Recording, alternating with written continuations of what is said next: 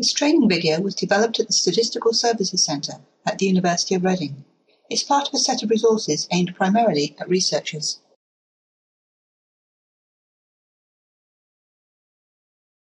When you have several data entry staff, all entering data for the same survey, there will come a time when you want to merge the data files they are creating. This can be done using the Concatenate Data tool in CS Pro.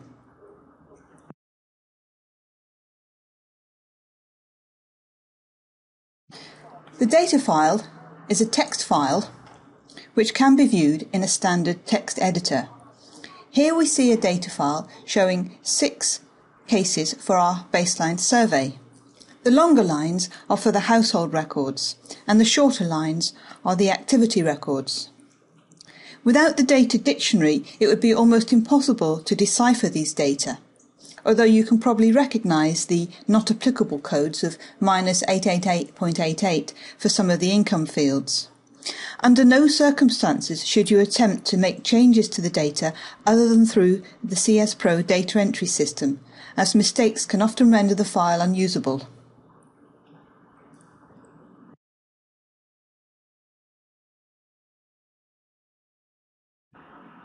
As with most of the tools in CS Pro, the Concatenate Data tool is available from the Tools menu or directly via the Windows Start menu. The first thing you need to specify when opening Concatenate Data is the output file. We click Browse to find the right location and then give the name as baseline survey merged.dat. If the file already exists, it will be overwritten. We click OK. Now we want to add the files that we want to merge, and we have three files for our example. Note all the files must be based on the same dictionary file. We click Add to find the first file, which is baseline survey1.dat. That adds it.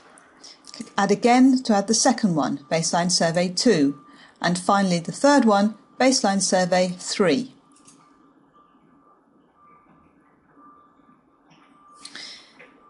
Then we click Run. And this tells us the concatenation is complete. The text viewer lists the three files that have been merged and the name of the output file and tells us again that the concatenation was successful. To view the merged data, we open the data entry application and load the merged data file. Baseline survey merged. And here we have 15 cases in our newly merged file, which is correct.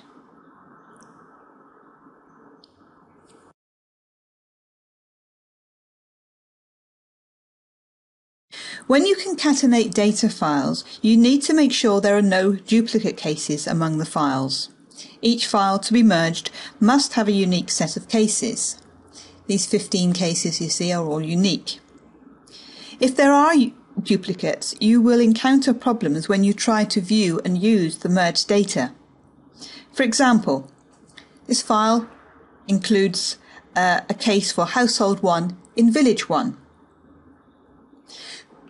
Let's have a look at the file baseline survey 4.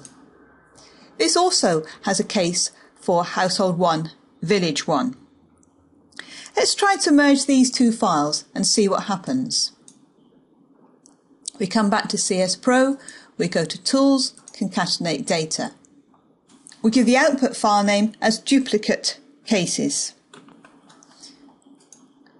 Then we merge the two files, baseline survey merged and baseline survey 4 and click run. That concatenation is complete and it's successful. But let's try to use that newly merged dataset. We run the application, we find the file duplicate cases and try to open it. This time CS Pro gives us an error message and tells us there are duplicate cases in household 1, village 1. It cannot create the index and therefore cannot load the application.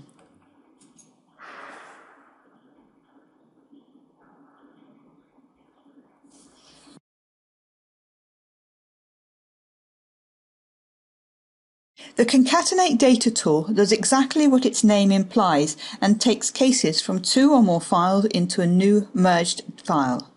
It does not check for duplicates, so you must ensure there are no duplicates among the individual files. Otherwise, the resulting file will be unusable. One final reminder is that you should not attempt to make changes to the data using a standard text editor, as this may render the file unusable.